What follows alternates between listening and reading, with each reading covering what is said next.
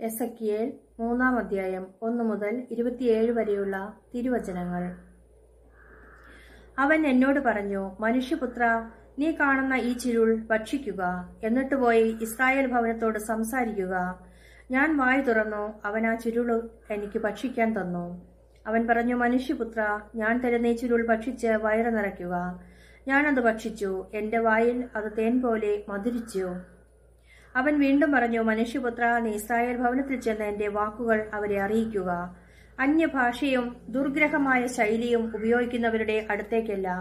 Israel ഭവനത്തിലേക്കാണ് നിന്നെ ഞാൻ അയക്കുന്നത്. അന്യഭാഷയും ദുർഗ്രഹമായ ശൈലിയും കഠിന പദങ്ങളും ഉപയോഗിക്കുന്ന ജനതകളുടെ അടുത്തേക്കല്ല നിന്നെ ഞാൻ അയക്കുന്നത്. അങ്ങനെയുള്ളവരുടെ അടുത്തേക്കായിരുന്നെങ്കിൽ അവർ തീർച്ചയായും നിന്റെ വാക്ക് ശ്രവിക്കുമായിരുന്നു. എന്നാൽ ഇസ്രായേൽ ഭവനം നിന്റെ വാക്ക് കേൾക്കുകയില്ല.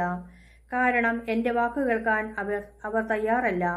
എന്തെന്നാൽ ഇസ്രായേൽ ഭവനം മുഴുവൻ കടുത്ത നെറ്റിയും കഠിന ഹൃദയവും ഉള്ളവരാണ്. നിന്റെ മുഖം അവരുടെ മുഖങ്ങൾക്കെതിരെയും നിന്റെ നെറ്റി അവരുടെ നെറ്റികൾക്കെതിരെയും ഞാൻ കഠിനമാക്കിയിരിക്കുന്നു.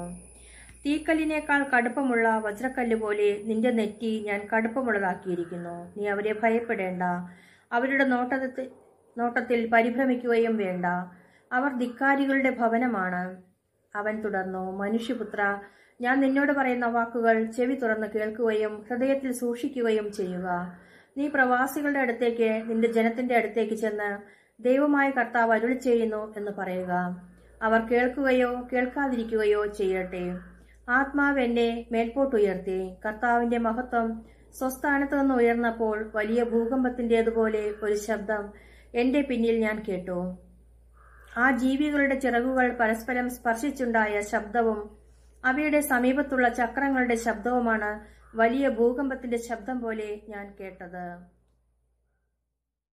ആത്മാവ് എന്നെ ഉയരത്തിലൂടെ വഹിച്ചു കൊണ്ടുപോയി. പര്യാകുലനും അമർഷം ഉണ്ടവനുമായിട്ടാണ് ഞാൻ പോയത്. എന്തെന്നാൽ ദൈവത്തിന്റെ കരം എന്റെ മേൽ ശക്തമായിരുന്നു. തെൽ അബീബിൽ കേബാർ നദീതീരത്ത് വസിച്ചിരുന്ന പ്രവാസികളുടെ അടുത്ത് ഞാൻ എത്തി. അവരുടെ ഇടയിൽ സ്തബ്ധനായി ഏഴ് ദിവസം ഞാൻ കഴിച്ചു. ഏഴ് ദിവസം കഴിഞ്ഞപ്പോൾ എനിക്ക് കർത്താവിന്റെ അരുളപ്പാടുണ്ടായി. മനുഷ്യപുത്ര ഞാൻ നിന്നെ ഇസ്രായേൽ ഭവനത്തിന്റെ കാവൽക്കാരനാക്കിയിരിക്കുന്നു. എന്റെ അതരങ്ങളിൽ നിന്ന് വചനം കേൾക്കുമ്പോൾ നീ എന്റെ താക്കിയത് അവരെ അറിയിക്കണം. തീർച്ചയായും നീ മരിക്കുമെന്ന് ദുഷ്ടനോട് ഞാൻ പറഞ്ഞിട്ടും നീ അവനെ ശാസിക്കാതിരുന്നാൽ അവന്റെ ജീവൻ രക്ഷിക്കാൻ വേണ്ടി അവന്റെ ദുഷിച്ച വഴിയെപ്പറ്റി നീ താക്കീത് ചെയ്യാതിരുന്നാൽ ആ ദുഷ്ടൻ അവന്റെ പാപത്തിൽ മരിക്കും. അവന്റെ രക്തത്തിന് ഞാൻ നിന്നെ ഉത്തരവാദിയാക്കും. നീ ദുഷ്ടനെ ശാസിച്ചിട്ടും അവൻ ദുഷ്ടതയിൽ നിന്നും ദുർമാർഗത്തിൽ നിന്നും പിന്മാറാതിരുന്നാൽ അവൻ തന്റെ പാപത്തിൽ മരിക്കും. എന്നാൽ നീ നിന്റെ ജീവൻ രക്ഷിക്കും. നീതിമാൻ തന്റെ നീതി വെടിഞ്ഞ് തിന്മ പ്രവർത്തിച്ചാൽ അവൻ വീഴാൻ ഞാൻ ഇടയാക്കും. അവൻ മരിക്കും. നീ അവനെ ശാസിക്കാതിരുന്നതിനാൽ അവൻ തന്റെ പാപം നിമിത്തം മരിക്കും. അവൻ ചെയ്തിട്ടുള്ള നീതിനിഷ്ഠമായ പ്രവൃത്തികൾ അനുസ്മരിക്കപ്പെടുകയില്ല. അവന്റെ രക്തത്തിന് ഞാൻ നിന്നെ ഉത്തരവാദിയാക്കും. പാപം ചെയ്യരുതെന്ന നിന്റെ താക്കീത് സ്വീകരിച്ച് നീതിമാനായ ഒരുവൻ പാപം ചെയ്യാതിരുന്നാൽ അവൻ തീർച്ചയായും ജീവിക്കും. കാരണം അവൻ താക്കീത് സ്വീകരിച്ചു. നീയും നിന്റെ ജീവനെ രക്ഷിക്കും. അവിടെ കർത്താവിന്റെ കരം എന്റെ മേൽ ഉണ്ടായിരുന്നു. അവിടെ നിന്നോട് അരുളി ചെയ്തു എഴുന്നേറ്റ് സമതലത്തിലേക്ക് പോവുക.